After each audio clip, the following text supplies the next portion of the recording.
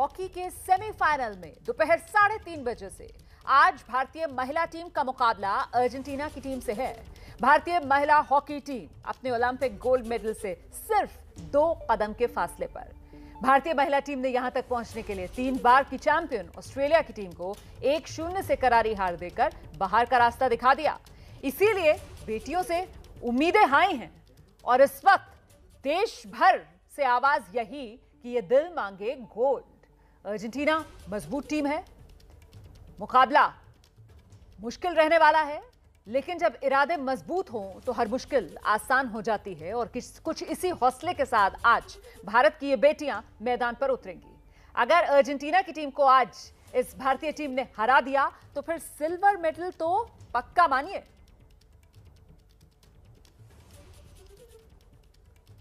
और इस बीच देश के खेल मंत्री अनुराग ठाकुर ने ओलंपिक में आज के मैचेस को लेकर काफ़ी उत्साह दिखाया है। उनका कहना है कि भारत के लिए आज का दिन ऐतिहासिक साबित हो सकता है।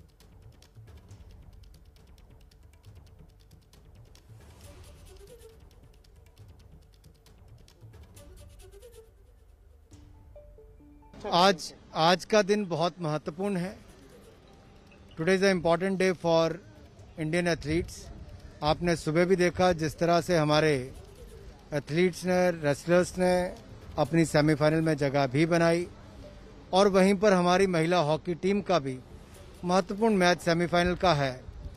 मुझे पूर्ण विश्वास है, वो भी अपना शानदार प्रदर्शन करेंगे और आज का दिन भारत का ओलंपिक्स में ऐतिहासिक दिन हो सकता है। तो जीतेगा इंडिया, ये तिरंगा कवरेज एबीपी न्यूज़ पर लगातार जारी है और इसमें हमारे साथ खास मेहमान लगातार बने हुए हैं। बिना वक्त गवाए सीधे आपको लेकर चलते हैं हॉकी टीम के पूर्व कप्तान दिलीप तुर्की, हमारे साथ लगातार इस खास पेशकश में बने हुए हैं।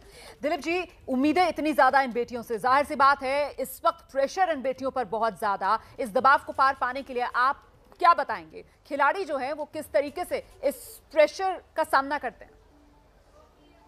देखिए लास्ट मैच में ऑस्ट्रेलिया मैच में प्रेशर का सामना कर चुके हैं और हमें समझने की ज़रूरत नहीं है। उनको मालूम है, आज का मैच काफ़ी इंपॉर्टेंट है सेमीफाइनल मैच है और जिस तरीके से टीम में कॉन्फिडेंस है, मेरे मेरे ख्याल से वही कॉन्फिडेंस के साथ खेलेंगे, अच्छी हॉकी खेल सकते हैं मुझे लग रहा है। और सबसे इम्पोर्टेंट चीज़ है जैसे लास्ट मैच में समय समय पर जो ग्रुप टैकल कर रहे थे, आगे जाके प्रेस कर रहे थे, आगे जाके, इसको कंटिन्यू रखना है।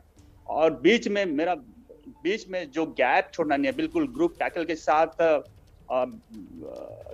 बीच में बिल्कुल ही गैप छोड़ना नहीं है टीम को मुझे लग रहा है। और टीम के पास कॉन्फिडेंस है। मुझे मेरा पर्सनल एक्सपीरियंस कह रहा है जी। कि टीम जिस हिसाब से उतरेगी डेफिनेटली बहुत ही अच्छा परफॉर्मेंस करेगी मुझे लग रहा है। और ये मैच जीत के आएँगे। बिल्कुल जीएस विवेक करो करते हैं। जीएस जिस कॉन्फिडेंस की बात कर रहे हैं यहाँ पर दिलीप तिर्की आत्मविश्वास की बात कर रहे हैं यहाँ पर दिलीप तिर्की हमें नहीं भूलना चाहिए कि ओलंपिक में इस बार जो ये महिला हॉकी टीम है इसके सफ़र की शुरुआत हार से हुई और उसके बाद जो खबरें आई कि साहब कोच ने एक ऐसी फ़िल्म दिखाई जिससे इतनी मोटिवेटेड हो गई ये खिलाड़ियाँ कि फिर ये सवार हो गई जीत के रथ पर और एक के बाद एक जीत ऐसी कि ऑस्ट्रेलिया को भी पीट दिया।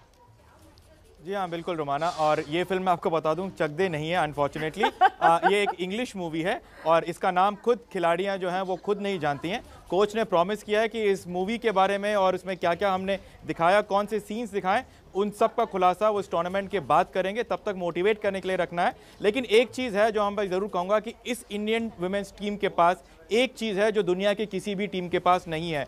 जब लॉकडाउन हुआ था पूरे दुनिया भर में कोविड के चलते तो ये सारी की सारी लड़कियाँ साई हॉस्टल बेंगलुरु में ही थी, वो कहीं नहीं गई और लगातार ट्रेनिंग कर रही थी, जो फैसिलिटी बाकी लोगों के पास नहीं थी। और इसीलिए मेरे ख्याल से दिलीप भाई इससे सहमत भी होंगे कि जो तालमेल हमें यहाँ पर इस टूर्नामेंट में देखने को मिल रहा है, वो कभी नहीं। भले ही टीम इंडिया हार गई हो पहले के मैचेस, लेकिन तालमेल हमेशा से रहा था। और अगर हम हेड टू हेड की भी बात करें, पिछले साल जब भारत की महिला टीम को एक फॉरेन एक्सपोजर ट्रिप मिला था तो वहाँ पर अर्जेंटीना से ही मुकाबला हुआ था, जहाँ पर वो तीन मैचेस अर्जेंटीना के सीनियर टीम के खिलाफ खेले। एक में उन्होंने ड्रॉ किया, दो बाकी मैचेस में एक शून्य से हारे, लेकिन तब से लेकर अब तक का सफ़र काफ़ी ज़्यादा बेहतर हुआ इस विमेंस टीम के साथ, क्योंकि ये लगातार ट्रेनिंग कर रहे थे। अपनी फिटनेस पर फोकस कर रहे थे। स्ट्रेटजीज पर फोकस कर रहे थे रोमाना। बिल्कुल वो जो आपने टीम इंडिया वाली बात बताई ना कि कैसे एक साथ ये खेल रहे थे और किस तरीके का इनका कोऑर्डिनेशन मुझे लगता है शुभी को फ़िल्म याद आ रही होगी चक दे इंडिया मुझे भी वो सीन याद आ गया शुभी बेहतर तरीके से बता पाएँगी कि वो कोच साहब आते हैं और वो पूछते हैं खिलाड़ियों से आप किसके लिए खेलती हैं? तो सब आती हैं अपनी अपनी स्टेट्स का नाम लेती हैं और आखिर में जो विकेट की जो गोल कीपर आती है माफ़ कीजिएगा तो गोल कीपर आकर कहती हैं इंडिया शुभी याद आया आपको? वो बेहतर तरीके से आप बता पाएँगे। बिल्कुल बिल्कुल। मैं मैं वो सीन कभी भूल नहीं पाऊँगी क्योंकि वो सीन हमें शायद पच्चीस तीस टेक लगे थे उस सीन को करने के लिए। लेकिन उस सीन की, उस सीन की खास बात यह है कि वो कहीं पे भी, कभी भी आज भी इस्तेमाल किया जाता है। क्योंकि हमें ना स्टेट के नाम सुनाई देते हैं, ना दिखाई देते हैं। हमें सिर्फ़ एक नाम सुनाई देता है, वो है इंडिया और आज ये लड़कियाँ जो हैं हिंदुस्तान के लिए खेल रही हैं, अपने लिए खेल रही हैं इस गौरव के लिए खेल रही हैं तो ज़ाहिर सी बात है पूरी मेहनत से खेलेंगी। मेरी जो शुभकामनाएँ हैं वो खास करके सविता पुनिया के लिए हैं, क्योंकि मैं जानती हूँ कि आज उनका जो ज़ोर लगेगा, जो उनका ग्रेट वॉल जो उनका नाम दिया गया है, आज उसकी पूरी की पूरी जो है वो टेस्ट पे उतरने वाली हैं। और मैं चाहूँगी कि मेरी सारी दुआएँ आज उनके साथ हो, कि वो खड़ी रहें, डट के अपने गोल के सामने, और जो हमारे अटैकर्स हैं वो लगे रहें और इस जो गोल्ड को बस अपने सामने रख के खेलते चले जाएँ। बिल्कुल, दिलीप भाई को आना चाहिए यहाँ पर। दिलीप भाई, जो बात आप और जीएस विवेक दोनों कह रहे हैं कि साहब अटैकिंग गेम अर्जेंटीना की तरफ़ से खेला जाता है डिफेंस को अपने पैक रखना होगा। और ऐसे में जिसका ज़िक्र शुभ यहाँ पर कर रही है कि द वॉल मतलब अभी तक तो हम क्रिकेट क्रिकेट में राहुल द्रविड़ उन्हीं को वॉल के तौर पर जानते थे और सविता पुनिया द वॉल उन्हीं को आज बड़ी भूमिका निभानी होगी। बिल्कुल। लास्ट मैच में सविता पुनिया के बहुत इंपॉर्टेंट रोल थे, बहुत अच्छी हॉकी खेली। उन्हें कई दो तीन शॉट पर डायरेक्ट शॉट पर उन्हें रोकी है। और मेरे ख्याल से आज भी उनका रोल इम्पोर्टेंट रहेगा, जैसे कह रहे हैं। उसके साथ साथ हमारे अदर जितने भी खिलाड़ी हैं, उनका भी इम्पोर्टेंट रोल रहेगा। और दिग्विजय से एक्का के बात कीजिए या नेहा नेहा बीच में बहुत ही अच्छा बॉल डिस्ट्रीब्यूशन कर रहे हैं। बहुत जैसे ब्लॉक कर रहे हैं टैकल कर रहे हैं एनालाइज कर रहे हैं, किया जा रहा है।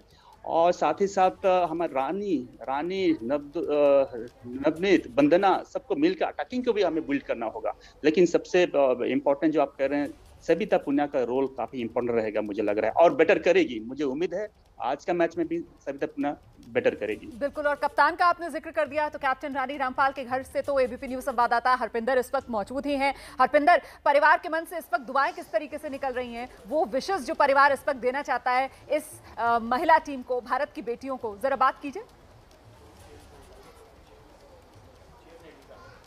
जी बिल्कुल हम हमारे पि, उनके पिता रामपाल जी हमारे साथ लगातार जुड़े हुए हैं। वो टीवी पे के सामने अभी से बैठ चुके हैं और बड़ी बात यह है उन्होंने अभी तक खाना तक नहीं खाया। उनका यही कहना है कि जब तक मैच नहीं होता हम खाना नहीं भी, भी नहीं खाएँगे जब जीतेगी टीम इंडिया उसके बाद ही खाना खाएँगे। और उससे बात करते हैं कि अब इनका क्या कहना है?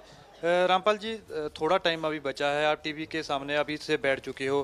कैसी दुआएँ अब टीम को देना चाहोगे आप? क्योंकि आपकी बेटी है और आपकी बेटियाँ जो खेल रही हैं मैच।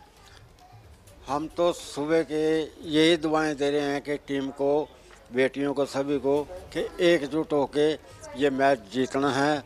और जीत के आना ज़रूरी है। बेटियों का भी कहना यही है कि हम कुछ ना कुछ नया इतिहास रचेंगी।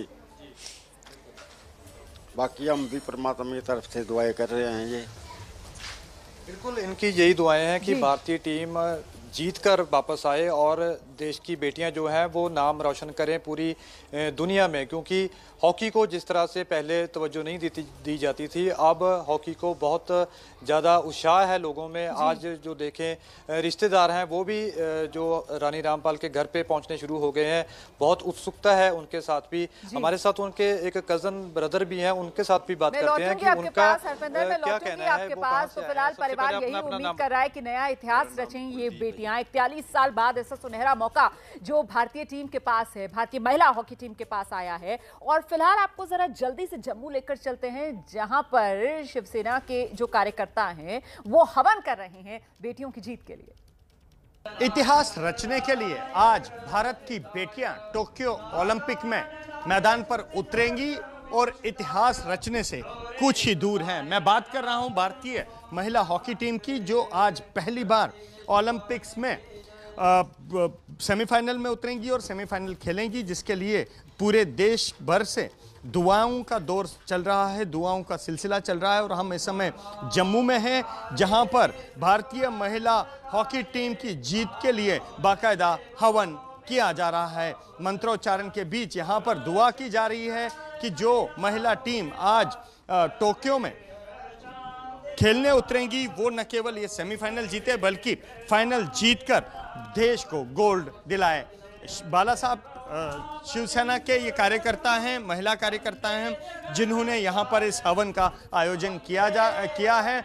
अब दुआ मांग, मांगी जा रही है भगवान से कि भारतीय महिला हॉकी टीम जो है, वो गोल्ड लेकर आए और न केवल इस सेमीफाइनल को जीते, बल्कि सेमीफाइनल भी, सेमीफाइनल के बाद फाइनल भी जीते। मनीष, हमारे साथ मनीष, आज महिला हॉकी टीम पहली बार सेमीफाइनल खेल रही है। क्या कुछ मांग रहे हैं आप भगवान बिल्कुल जी भारत की बेटियों ने आज इतिहास रचा है।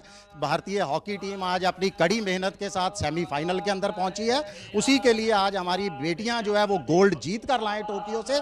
इसी उपलक्ष्य के अंदर आज हमने उनके लिए वैष्णो देवी से प्रार्थना कर रहे हैं हवन यज्ञ के माध्यम से कि तो ओलंपिक्स में बेटियों ने जो दम दिखाया, उसी के बाद अब ये देश बेटियों से मांग रहा है गोल्ड। फ़िलहाल बहुत बहुत धन्यवाद सभी खास मेहमानों का हमारे साथ इस पेशकश में जुड़ने के लिए, बेटियों पर विश्वास जताने के लिए और उन्हें शुभकामनाएँ देने के लिए।